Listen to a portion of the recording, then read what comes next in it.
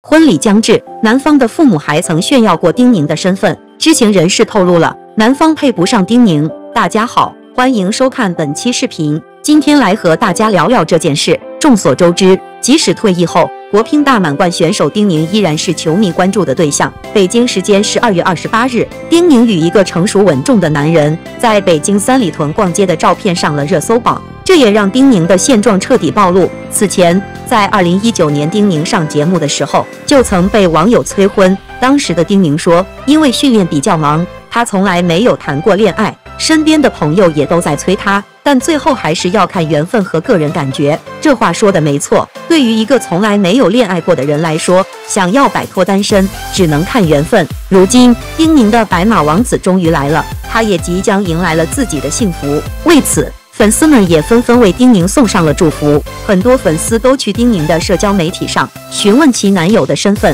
如果人们一直关注他，就会有媒体曝光。北京时间十二月三十日，一个关于丁宁更大的瓜来了。据知情人士透露，丁宁和男方在一起有一段时间了，之前没有曝光过。现如今，两人已经到了结婚的阶段。据报道，丁宁和男方将在春节后举行婚礼，届时王楠、张怡宁等体育明星将出席。这速度有点惊人啊！刚刚得到丁宁恋爱的消息，他这就要结婚了，而且婚期将至，婚期越近，粉丝对丁宁的未婚夫越好奇。但是从内部人士口中得到的消息，粉丝们似乎充满了担忧。知情人透露，他知道这些事情。是因为在丁宁和男方关系没有公布的时候，男方父母经常在晚宴上炫耀自己的儿子找到了一位世界冠军。这种情况也让许多粉丝担忧，因为在丁宁还没有计划宣布此事，以及两人的关系还没有最终确定的时候，他就被男方的父母到处炫耀，怕这样一来